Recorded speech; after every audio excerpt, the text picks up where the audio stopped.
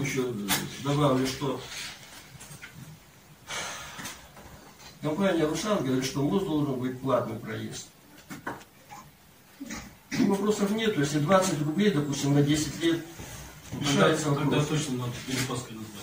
Ну так я про что и говорю, зачем называть поверхность. Мост еще не построили, уже 20 лет.